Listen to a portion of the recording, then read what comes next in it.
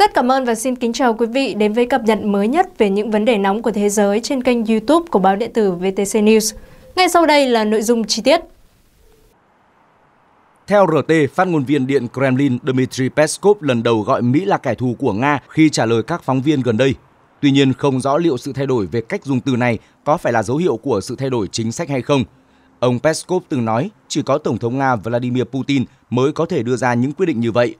Trước đó, việc Mỹ tịch thu hộ chiếu từ chối cho phép ông Scott Ritter, cựu sĩ quan lính thủy đánh bộ Mỹ, thành sát viên vũ khí của Liên Hợp Quốc và là cộng tác viên của đài RT đáp chuyến bay tới Nga là dấu hiệu mới nhất của một chiến dịch ngăn công dân Mỹ tương tác với Nga. Theo phát ngôn viên Điện Kremlin, Mỹ vẫn chưa đưa ra lý do tịch thu hộ chiếu của ông Ritter. Ông Peskov nói, Nga bây giờ giống như kẻ thù của Mỹ, cũng giống như Mỹ là kẻ thù của Nga, cho biết việc một cựu sĩ quan tình báo bị hạn chế đi lại, đặc biệt là hạn chế sang các quốc gia thù địch là điều khá phổ biến. Vào tháng 3, ông Peskov nhấn mạnh Nga không thích việc các quan chức Mỹ liên tục xúc phạm Tổng thống Nga Vladimir Putin, nhưng nhìn chung ở Nga không có xu hướng cảm xúc tiêu cực với người Mỹ. Ông cũng tin rằng sớm hay muộn thì người dân Mỹ và Nga cũng nhận ra là họ không phải kẻ thù của nhau. Tuy nhiên, Nga dường như đã thay đổi sau khi Mỹ cho phép Ukraine sử dụng vũ khí của Washington để tấn công hạn chế vào các mục tiêu sâu hơn bên trong lãnh thổ Nga. Trong hai năm qua, ông Dmitry Medvedev, cựu tổng thống, hiện là phó chủ tịch Hội đồng An ninh Nga cùng với một số quan chức diều hâu khác liên tục coi các đối thủ của Moscow là kẻ thù.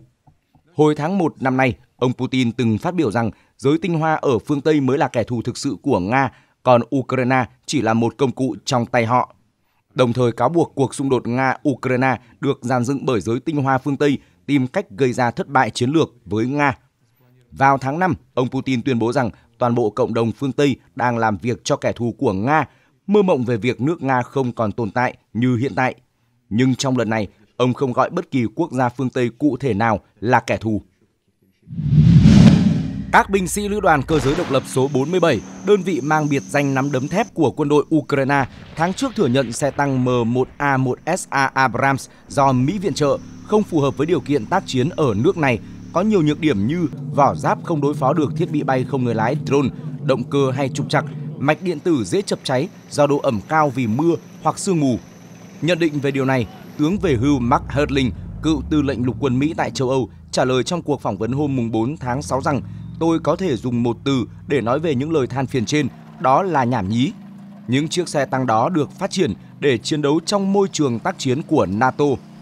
Tướng Hertling từng phụ trách các đơn vị xe tăng Abrams của lục quân Mỹ và làm nhiệm vụ tại châu Âu trong gần 30 năm trước khi nghỉ hưu, khẳng định ông chưa từng gặp những vấn đề được các kíp xe tăng Ukraine mô tả trong quá trình này. Ông Hertling cũng chỉ trích các kíp xe tăng Abrams Ukraine chọn sai loại đạn pháo và không bảo dưỡng khí tài đúng cách, khiến họ không thể bắn phá mục tiêu được giao. Ông nói thêm, những binh sĩ bất mãn vì xe tăng hỏng sẽ tìm mọi lý do để chia bai vũ khí và khẳng định nó không phù hợp. Tuy nhiên, phải nhớ rằng Ukraine liên tục yêu cầu cung cấp xe tăng Abrams dù biết rõ chúng đòi hỏi tiêu chuẩn bảo dưỡng rất cao để duy trì khả năng vận hành. Tổng thống Mỹ Joe Biden thông báo cung cấp 31 xe tăng Abrams cho Kiev vào tháng 1 năm 2023. Vì chuyển giao chậm, các xe tăng không kịp tham gia chiến dịch phản công vào mùa hè năm 2023, nhưng đã bắt đầu được lực lượng Ukraine sử dụng từ tháng 2 năm 2024. Nga cho biết đã tiêu diệt 8 xe tăng Abrams, một trong số đó còn được kéo về Moscow để trưng bày. Theo quan sát của CNN, Lữ đoàn 47 Ukraine hiện đang nghiên cứu thực hiện những cải tiến tại chỗ cho xe tăng M1A1 bao gồm lắp thêm hộp thép phản ứng nổ cũng như các khung chống UAV. Báo cáo của CNN có vẻ trái ngược so với những tuyên bố từ Lầu Năm Góc hồi tháng trước rằng xe tăng Abrams đã được rút khỏi chiến trường vì mối đe dọa từ máy bay không người lái của Nga. Chiếc xe tăng chiến đấu chủ lực của Mỹ đặc biệt dễ bị tổn thương khi các UAV tự sát tấn công lớp giáp mỏng phía trên của chúng. Các kíp lái Ukraine cũng phàn nàn rằng các thiết bị điện tử bên trong xe có thể bị chập mạch vì ngưng tụ hơi nước từ mưa và sương mù. Ngoài ra, Mỹ đã cung cấp cho Ukraine loại đạn chống tăng. Trong khi đó, theo binh sĩ Joker, xe tăng thường xuyên được sử dụng như pháo binh và đạn chống tăng không có sức công phá phù hợp. Ông nói, chúng tôi từng bắn 17 viên đạn vào một căn nhà và nó vẫn sừng sững. Sau nhiều loạt đạn pháo nã từ trực thăng Mi-35 của quân đội Nga, chiếc xuồng không người lái USV Ukraine đã bốc cháy và phát nổ. Đoạn video được trang quân sự Voenhronica.ru công bố gần đây cho thấy chiếc trực thăng vũ trang Mi-35 của quân đội Nga đang truy đuổi một chiếc USV cảm tử Ukraine di chuyển với tốc độ cao ở Biển Đen. Do mục tiêu có kích thước nhỏ và di chuyển với tốc độ cao, nên loạt đạn đầu tiên từ pháo tự động lắp trên mũi trực thăng đã không bắn trúng. Sau một thời gian truy đuổi, đạn pháo nã từ chiếc trực thăng đã bắn trúng chiếc USV và khiến khí tài này bất động. Chiếc USV sau đó đã phát nổ Toàn bộ quá trình truy đuổi và bắn hạ USV được camera gắn trên trực thăng ghi lại. Tháng trước, Bộ Quốc phòng Nga công bố video cho thấy tàu tuần tra và trực thăng của hạm đội Biển Đen tham gia đánh chặn xuồng cảm tử không người lái USV của Ukraine trong đêm. Trong video, một chiếc USV bốc cháy và phát nổ sau khi trúng đạn từ trực thăng Nga.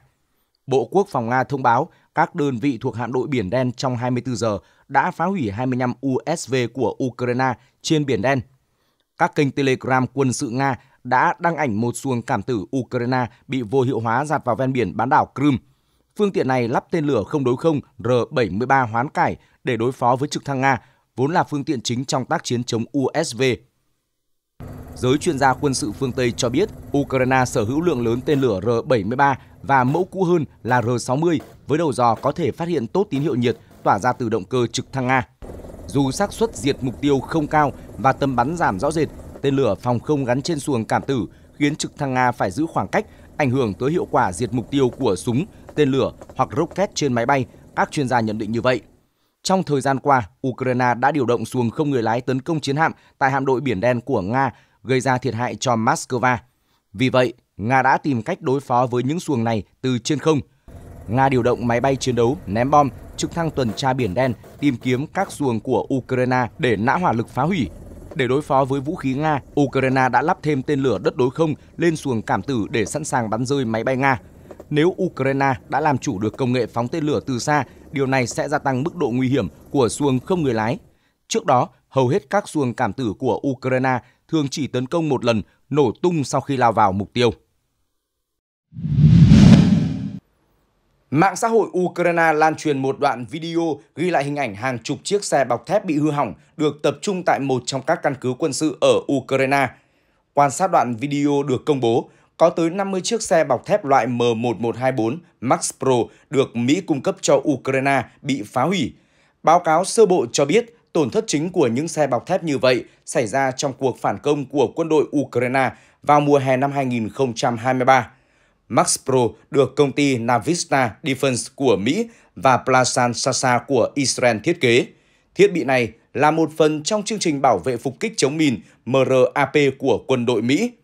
Theo trang web của Navista Defense, Max Pro được chế tạo để bảo vệ binh sĩ tham chiến tại Iraq khỏi các thiết bị nổ tự chế IED. Xe có giáp hình chữ V giúp làm trạch hướng các vụ nổ và bảo vệ kíp lái. Xe được thiết kế để chống lại hỏa lực từ vũ khí đạn đạo, mìn, IED và các mối đe dọa mới nổi khác. Xe có sức chứa 12 người, tháp pháo đơn chứa súng máy 7,62mm hoặc 12,7mm và không gian cho một xạ thủ. Hồi năm 2023, Mỹ tuyên bố sẽ gửi 200 xe Max Pro tới Ukraine.